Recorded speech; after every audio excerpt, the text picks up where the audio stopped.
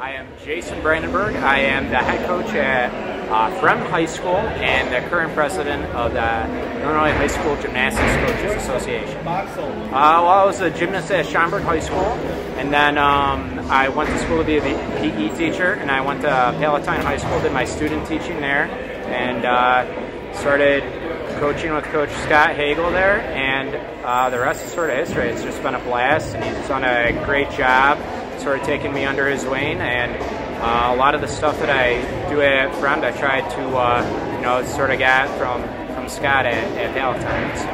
As a high school gymnast, what, what was something that you struggled with? Oh boy, just a lot of things. Just uh, like a lot of gymnasts, and uh, you know, just getting over your fears. So I think that's a commonplace for a lot of you know, lot of people in this gym right now behind me, and it's like uh, you know, shying away from it isn't going to solve the problem. So a lot of times, you know, just sort of confronting it and trying your best, and realizing that uh, a lot of times things that you make up in your head aren't really quite so bad. What's something you're proud of from your time as a high school gymnast?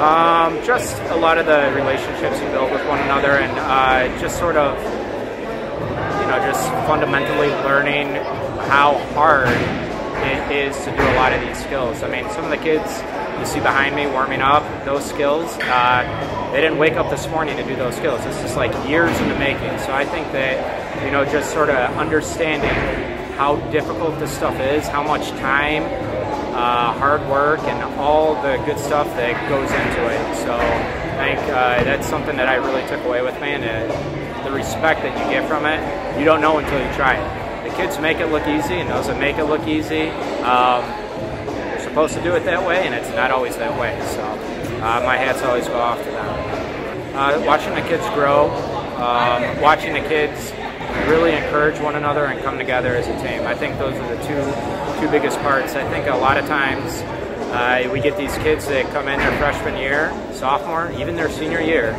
and you know they're sort of looking for a place to go, and uh, this is that opportunity for them, and uh, it gives them a chance to be part of their school and to grow and to get over their fears and whatever else you know they get out of the sport.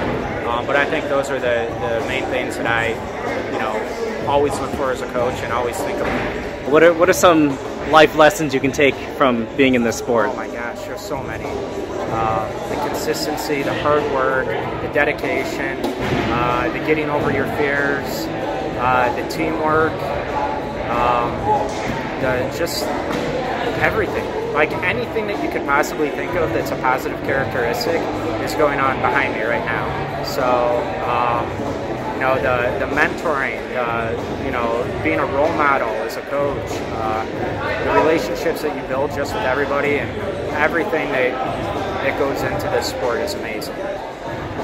Please continue to keep the sport for these kids. Um, that's, please. Awesome. Thank you.